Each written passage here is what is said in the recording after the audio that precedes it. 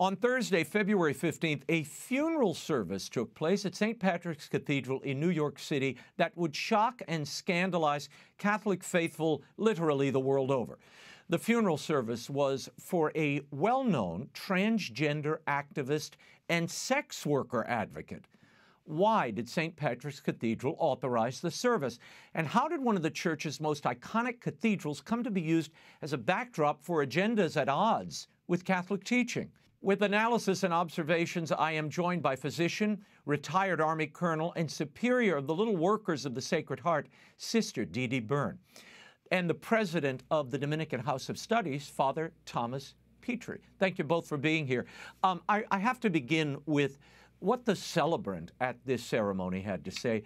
Near the beginning of this funeral, this is Father Edward Dougherty. He is a Maryknoll priest at St. Patrick's. Watch or listen. Well, welcome to St. Patrick's Cathedral. Except on Easter Sunday, we don't really have a crowd that this that is this well turned out, you know?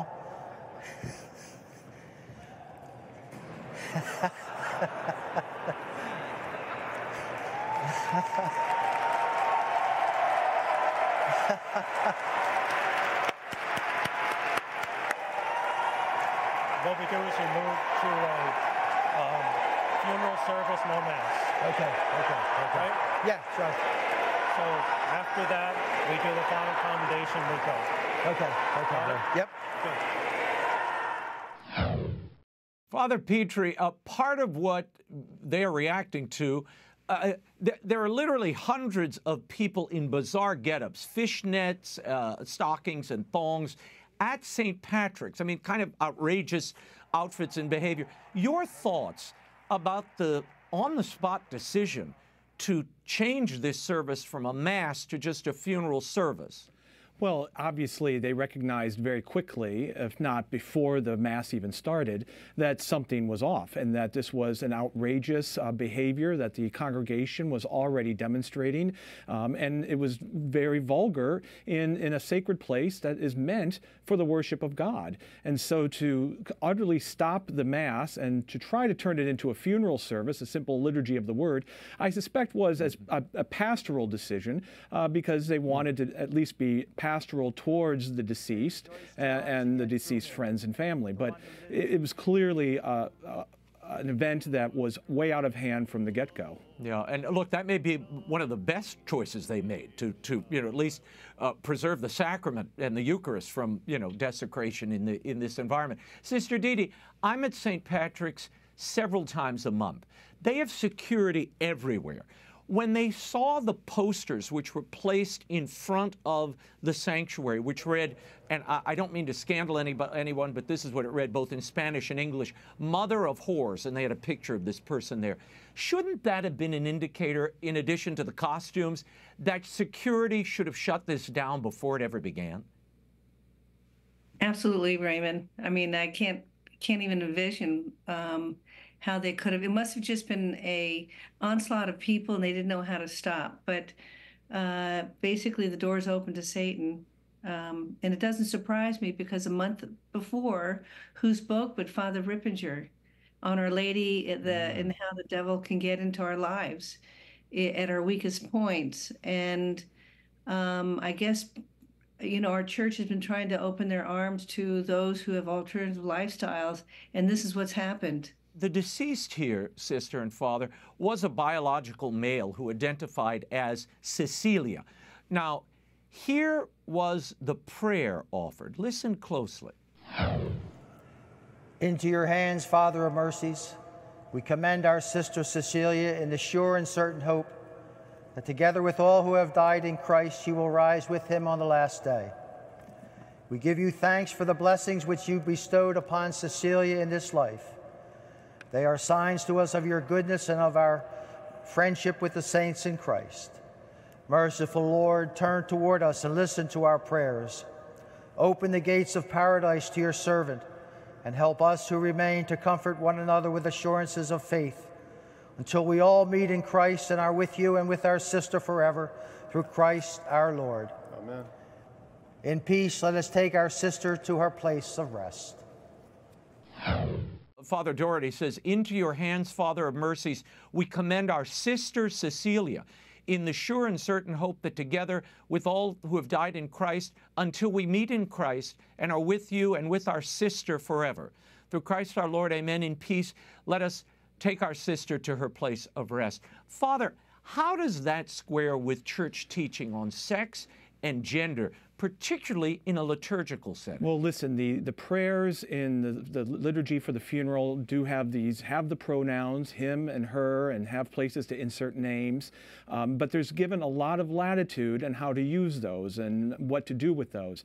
Look, the church does not accept tra- the transgender ideology that somehow one can declare oneself uh, a gender or a sex different than one's biological sex. That doesn't mean someone who suffers from gender dysphoria dysphoria should necessarily be denied a funeral, but if I were going to be celebrating such a funeral, I would simply read the person's name in place of any um, any any pronouns there. Not not because I'm trying to I would be trying to uh, agree with their their lifestyle or their decision, but out of respect for the family and the friends that knew them, however they were known. Mm-hmm. But I would I would never use uh, incorrect pronouns to describe uh, a, a, man, a biological man. I think I think you lead you give into the in, give into the sickness that way. Sister Dee Dee, your reaction to this? I mean, you're a religious sister. Your thoughts on a priest referring to a biological male as sister in a liturgical setting. Did that offend you, or is that just um, showing human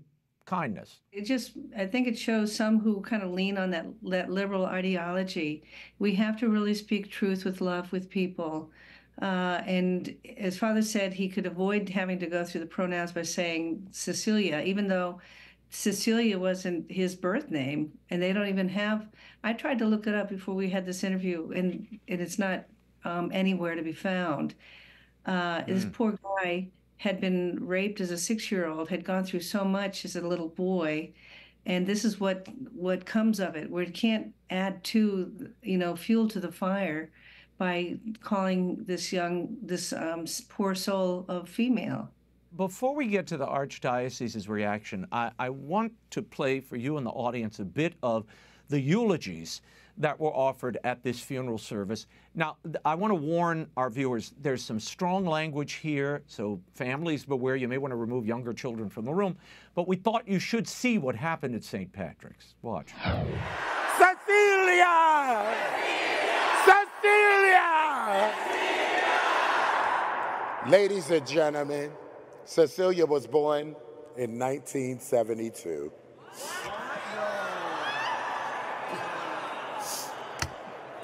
Imagine the shock and surprise. But I gotta tell you, there's something that's hurting deep in our hearts because we lost our saint. This whore,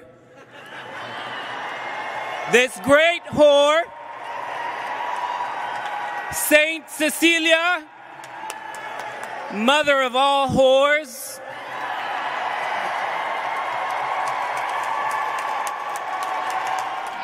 Sister Dee Dee, your reaction to this display in a Catholic cathedral? I mean, it, it for me um, almost made me want to vomit because our Lord is there. And it's such a sacrilege, Raymond. Um, and, you know, you would never see this in any other kind of um, a religious facility because the devil knows the devil's been at war with our Lord since the day he he was born, and and uh, the devil knows that the one true faith is the Catholic faith, and why else would they choose St. Patrick's? Um, this is the only reason why. Uh, they would never do it in a, in a mosque or a, a temple, and and it just brings out for those of us who have such a great great love and respect for our Lord this is um, this is an insult to our faith, and we just have to continue to pray. And thank God, the uh, Cardinal Dolan had a mass afterwards for the insult that occurred. I think they need an exorcism too, quite honestly. Father Petri, uh, you heard Sister Dee use that word sacrilege. What constitutes officially a, a, a, sacrilege. Does this rise to that level? Well, I think it does. I think that's why there was a massive reparation. A sacrilege is any sort of sin or vulgar, profane act that is done precisely with the intention of um, vulgarizing or betraying the faith or mocking the faith. Now, I can't say I can't divine the intention of the organizers of this of this event, but it certainly seems that they were hiding certain parts of this person's life. It certainly seems in how they behaved that it was intended to make a mockery of the mass, a mockery of the cathedral, a mockery of the faith, and therefore it does rise to the level of sacrilege. Citing the scandalous behavior at the funeral, the rector of St. Patrick's, Father Enrique Salvo, issued a statement claiming that the cathedral didn't know about the deceased's background. Uh, uh, I mean, I, I, don't think anyone expected a cathedral to know about anyone's background. A cathedral cannot reason, it's a building. But I'll put that aside. Cardinal Timothy Dolan, the Archbishop of New York, finally made a statement about the debacle on his podcast Wednesday. Listen to this. First of all, you know, they get a call. They didn't know the background of this woman who had died. All they know is somebody called and said, Our dear friend uh, died. Uh, we'd love to have the funeral at St. Patrick's Cathedral. It would be a great source of consolation. She's a Catholic, be a great source of consolation for us, her family, and friends. And of course, the priest of the cathedral said, Come on in. You're more yeah. than welcome. So, which was beautiful. We didn't, we didn't know the background. Uh, we don't do FBI checks on people right. who, who want to be buried. So anyway, then of course, once the funeral started, is when the trouble started because of the irreverence and the disrespect of the big crowd that was there. That is was very very sad. And uh, again, I applaud our priests who made a quick decision that, uh oh, with behavior like this, we can't do a mass. Father Petri, your perspective as a priest who's presided and been a celebrant at more than a few funerals, um, does this lack the vetting normal to a planning of a funeral? No, I don't think so. I mean, with all due respect to His Eminence, I mean, we don't need to do FBI background checks. Uh, you know, someone you don't know comes to you, uh, either as a priest, comes to your parish or your cathedral and asks to have a funeral for a loved one. Um, if you don't know this person, you, a, a, pastor, a priest is going to say, okay, well, first, tell me who you are. Let, let me get to know you. And certainly, and I would hope this would become standard practice at a place like St. Patrick's Cathedral, especially after this event. Yeah. Certainly, uh, one can simply Google a, a, person's name and see and find a whole lot of information about most of us, um, especially if we're an activist on the internet. Yeah. Yeah, and, and with all due respect, this activist had a New York Times full obituary the weekend before. I saw it with my own eyes by accident. Sister Didi, your thoughts on the Cardinal's explanation here. And we should say and tell the viewers a gay group told the Catholic news agency that the funeral organizers told whomever they booked this with at St. Patrick's that they should look up Cecilia's work and background. And according to the New York Times, Joe Zwilling, the Archdiocese spokesman, was notified by the New York Times the night before this funeral that this Cecilia was a sex worker and a trans advocate because he commented it on it at that time. Well, I'm not um, probably the best person to ask regarding the cardinal, but um, I know he's supporting his priest. But I just got off, off the phone today with um, um one of the CFR, the senior CFR priest, uh, who is mm-hmm. very close friends with this uh, rector, and he said he did not know anything about it. They vetted mm. poorly. They learned a, a lesson, but I trust the this father pre this priest and his relationship with this other priest. So I I just have to in faith feel that the rector did what he you know they didn't do the right job, but they they made a mistake, and I'm sure as you said they won't ever let this happen again. Well, now the New York ACLU held a press conference demanding answers from the cathedral and the archdiocese as to why their service was cut short. They had booked a full service, they wanted a mass, they didn't get it, as you heard from the video earlier. So now they're insisting that an apology should come forward. Here's the organizer of the funeral, Ceyenne Doroshow, contradicting St. Patrick's version of events. Watch. I didn't dupe the church. I didn't tell them her gender orientation. I didn't have to. You don't need to know what's in between her legs to respect her wishes or to respect her proper funeral. But what y'all need to know when the Pope approved same-sex marriages, Cardinal Dolan did not. So we're caught in the middle of a war.